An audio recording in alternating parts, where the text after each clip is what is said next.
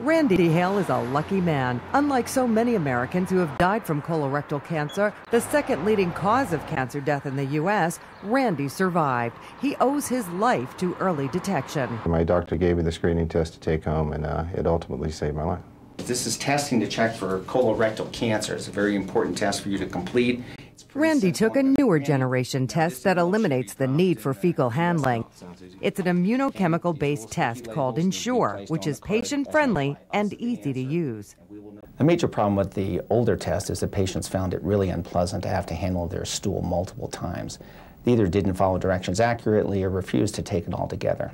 With the newer test, patients use a special long handled brush that comes with the kit to collect the toilet water sample. The doctor gave me this little packet to take home and had clear instruction and was easy to do. Didn't really have to touch anything. Sealed it up and mailed it off to Quest Diagnostics.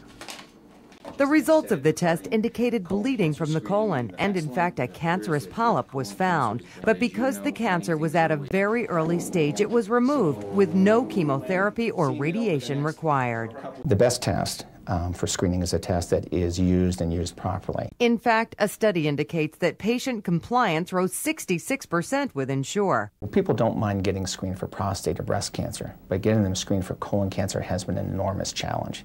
Now it doesn't have to be. An estimated 90% of colon cancers are curable if detected early. That's why the American Cancer Society recommends annual screening with take home tests for people over age 50 who are at normal risk for the disease. This is Hannah Haynes.